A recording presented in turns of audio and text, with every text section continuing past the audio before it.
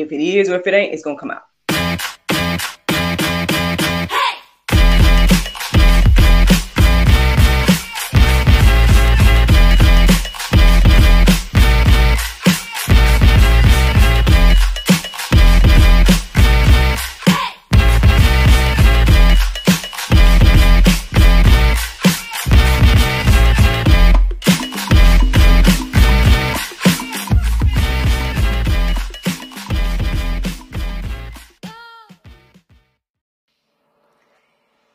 Good morning, everybody. It's your girl Miracle Sims, and you're listening to God, Sex, and Love. Your daily dose of inspiration, the juice.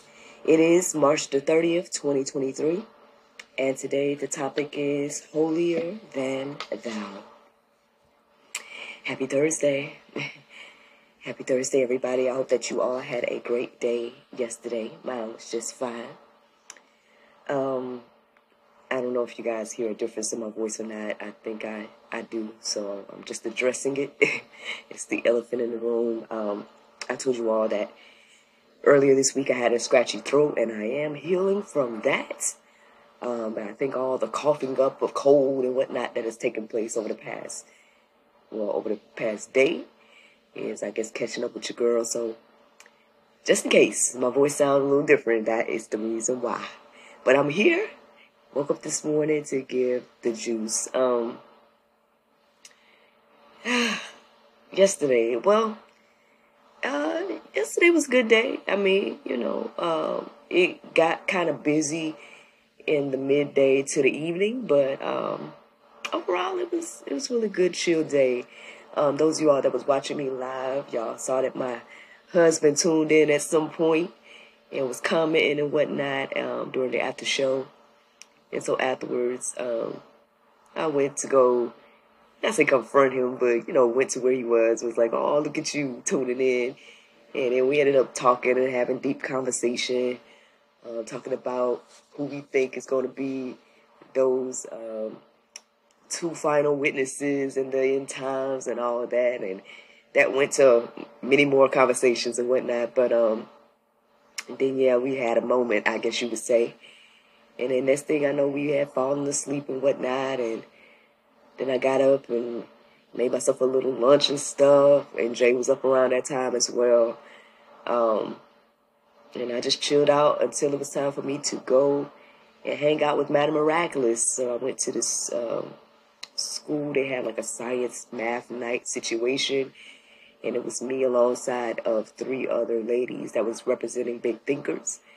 And um, we all had different booths and people would go to, you know, the different booths and whatnot. Um, I think everybody else's booth um, was giving them something or having them to make something or do something, but my booth was more so like shows. So it's like I did several mini shows um, yesterday.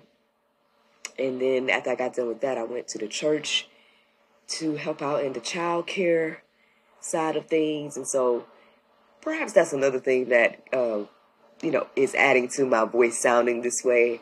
Because I, I want to say after I had did all those shows, um, I was like definitely feeling tired and whatnot. And my voice and all that was tired. But anywho's, yeah, that was my yesterday. Um, y'all know that today is Thursday. So we know that a new episode of the GSL Talk Show should be coming out tomorrow, if the Lord's will.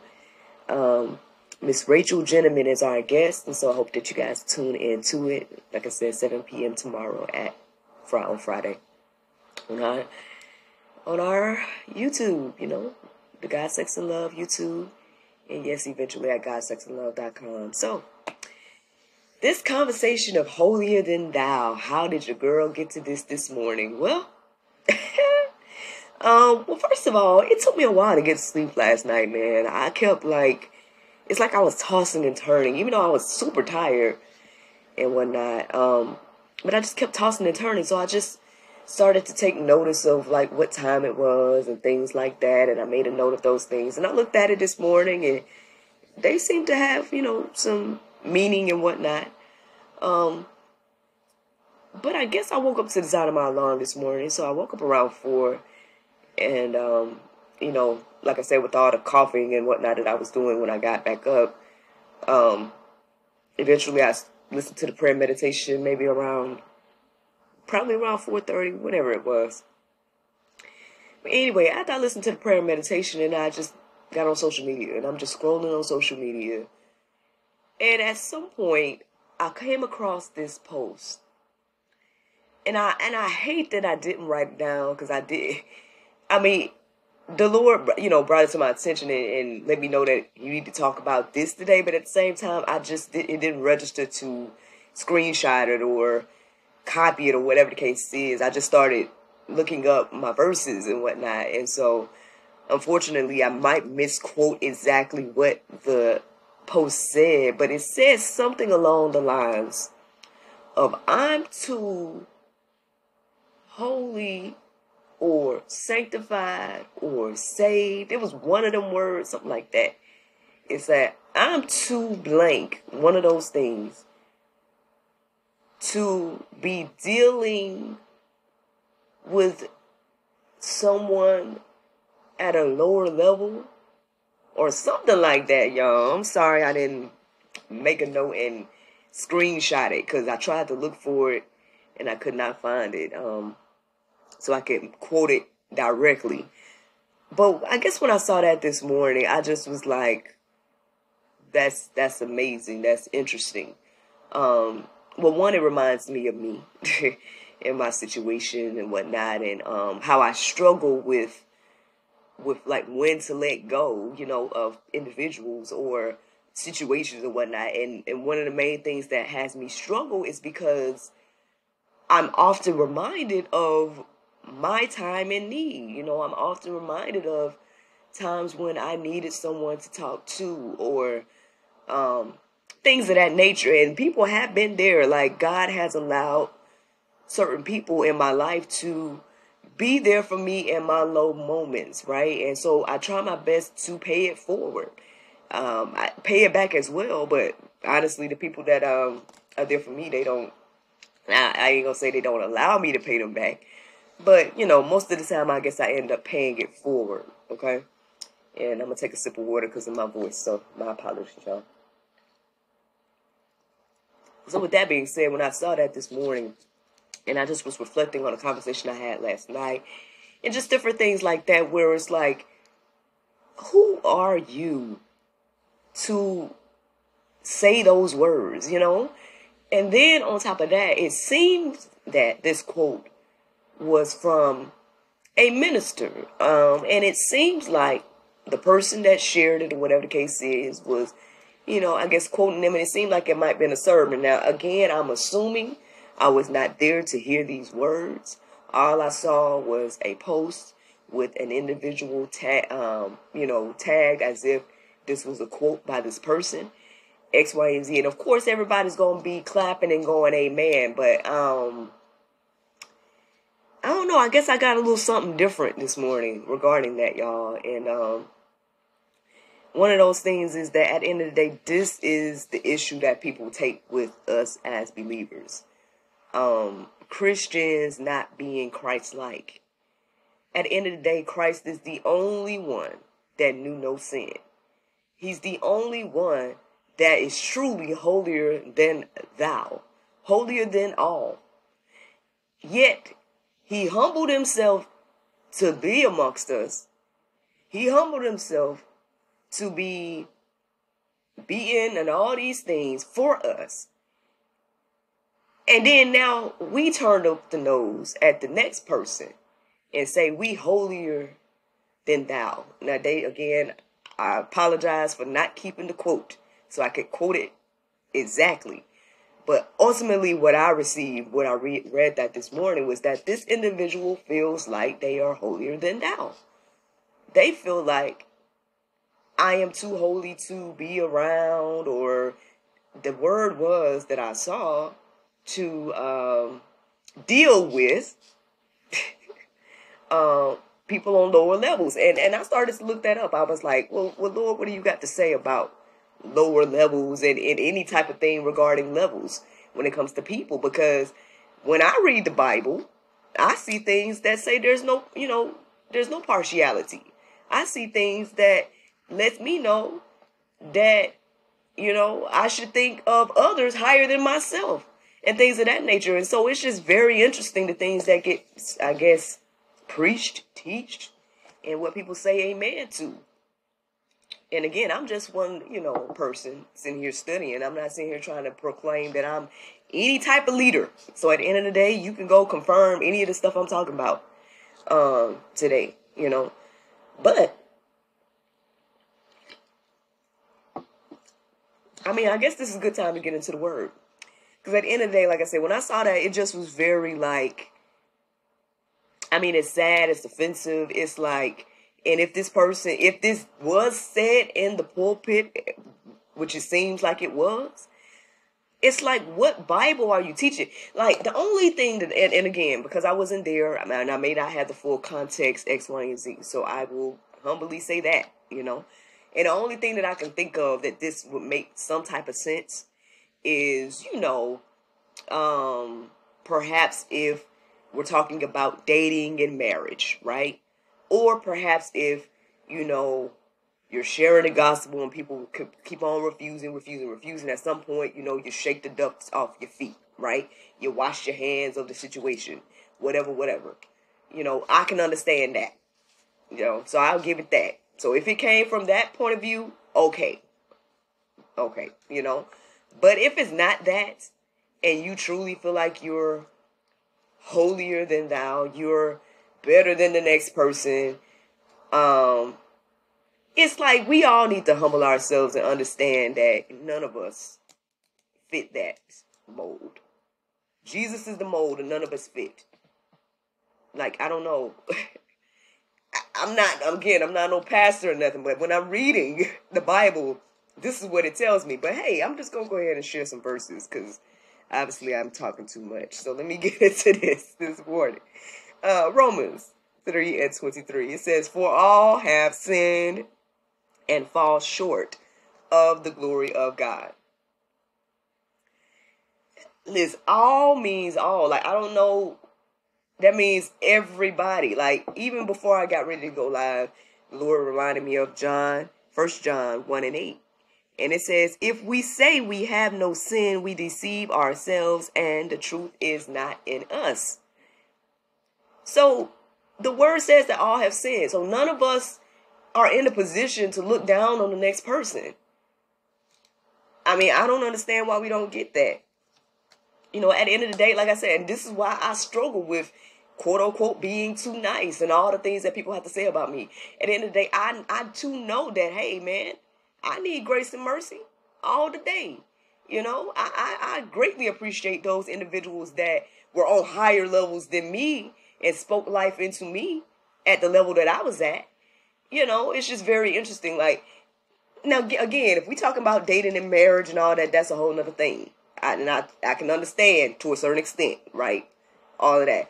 But if we're just talking about being around people or dealing with people or whatever the case is, just in general, oh, this person isn't on my level, whatever, whatever, then listen, you need to humble yourself if you have that type of heart and attitude. Um, hopefully nobody listening to the sound of my voice is like that. But I'm just telling y'all what I saw today and what has inspired this conversation. But anyway, Isaiah 65 and 5, it says, Who say Keep to yourself. Do not come near me, for I am too holy for you. These are a smoke in my nostrils, a fire that burns all the day. Listen, y'all, I came across that this morning. I'm like, wow, that sounds exactly like this situation. And it sounds like the Bible is addressing this this heart and mindset specifically. To, let me read that again. It's like this is Bible, y'all, so y'all can go read it for yourself. Isaiah 65 and 5. Who say, Keep to yourself, do not come near me, for I am too holy for you. And it say, These are smoke in my nostrils, a fire that burns all the day. Like, God isn't pleased with that heart and mindset. This reminds me of the message that the children learned last week or so ago um, and it was talking about you know the the parable about the man that had got the grace and mercy. He he owed this substantial amount of money, and, and the king or whoever it was, the ruler of that time or whatever, gave the man grace and mercy. Say you don't have to repay the debt, and then that man goes to the to his fellow servant, someone on the same level as him, right? That owed a little bit of money and had that money, that man thrown in jail and all the things. Like, I mean, these things are like spelled out so plainly, like in the parable, in this verse right here, but yet we still have our nose tooted up in the air like we didn't like.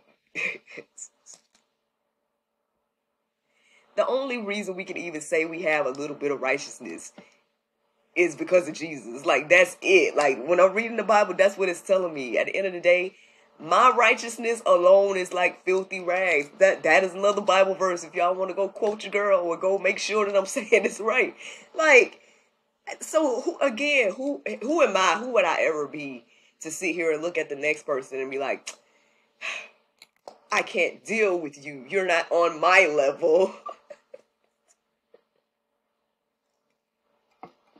Sorry, I gotta drink so much water today, y'all, but still, like, I'm just but it's out here. This is the mindset of many. And I believe that this is one of the main issues when it comes to the faith. Like, we are being a stumbling block in people's way when we act like this. Um, we are being, um, and and again, so this this is a uh, so okay, so this was just came to my heart and mind. In spite of how people act and what they do and what they say, right? This is why we should focus on Jesus, right? This is why we shouldn't let anybody uh, turn us away from the faith based on what they do. At the end of the day, you shouldn't be measuring it up with what I do or anybody else, right? Whoever that minister was and all of that, right? That had those things to say. Like, this is why we shouldn't be puffing nobody up. Like, at the end of the day, the goal is Jesus. Like, that's the standard. And at the end of the day, it tells us plainly that none of us reached that standard. That's why he had to come and do it himself. so, I mean, you know, it, it, it, it's just interesting, y'all. I'm just, like I said, when I came across that this morning, it just blew my mind. I'm over here like, so did this person say this in the pulpit? Like, I, I mean, I hope that I'm missing some context here. Like, I'm, I'm hoping that it wasn't said the way that it was written because that's just a very ugly way of thinking. Like, yo, if your heart and mind is looking down on people in any aspect, because you think you your your level is greater or whatever the case is, like, I guess shame on all of us. I'll just put it like that. So I'm about to say shame on you, but shame on all of us. Cause I, I'll include myself. Like I have to remind myself of these words if I ever get to this type of place in my heart and mind. Like Lord, remind me, you know, Lord, humble me, you know. Um, anyway, y'all, let's keep going. James 2 and 1. My brothers, show no partiality as you hold to the faith in our Lord Jesus Christ, the Lord of glory. So again, show no partiality. It don't get no plainer, y'all. It just it's just really clear. Like why? But we do that. We always show the partiality. We we want to treat somebody, you know, like if this person has versus the, again, like they say, the haves and the haves nots. You'll treat um, these people better than these. Like we all have done it one way or another. So I'm not sitting here pointing no fingers. I'm sure I've done it one way or another as well. Um, but again, we should just humble ourselves and just be reminded. Remind yourself of where you was friend when you needed the grace and mercy. Yeah, anyway. Proverbs 28 and 21. To show partiality is not good, but for a piece of bread a man will do wrong. oh, Lord. Look, not even for, I mean, oh, goodness. Uh, this, this word say for a piece of bread a man would do wrong and it, it plainly says that showing partiality isn't good. So honestly, I don't really have anything else to add, friends. At the end of the day, again, I, I truly, truly hope and pray that that that quote that I saw was not a sermon. I hope and pray that it wasn't something that was said from the pulpit. Um, I hope, but I mean, if a person is quoting it, it had to been in some. But anyway, because I don't know, because I don't know those details, I hope and pray that it wasn't something that was you know said in a this this way of, of, of a congregation of people, you know, leading people astray with this mindset. Um, I hope that maybe the context was marriage, or maybe the context was dating, or maybe the context was like, you know, something that will help it make a little bit more sense. But if it just was in general, you know, I can't deal with people on that aren't on my level, then shame on you, and that's the juice. Uh, the Bible verse uh, of today is James 4 and 17. It says, Therefore, to him that knoweth to do good and doeth it not, to him it is sin. Friends, I hope you all enjoyed this juice this morning. Thank you so much for listening to God, Sex, and Love. Your daily dose of inspiration, the juice. I pray you guys can go forth and have a wonderful day, and I look forward to talking to you all tomorrow, if the Lord's will. Bye bye.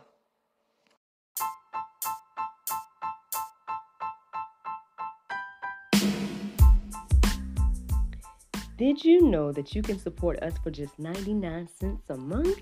That's right, friends. You can support everything that we do here at GSL for just 99 cents a month. Take a look around wherever this post is. You might see a link or maybe even a button that says support. Go there, check out the options, consider supporting us because, you know, we enjoy bringing you all the daily inspiration as well as the weekly talk show, but we have much, much more to come. Thank you so much for the consideration. Bye bye.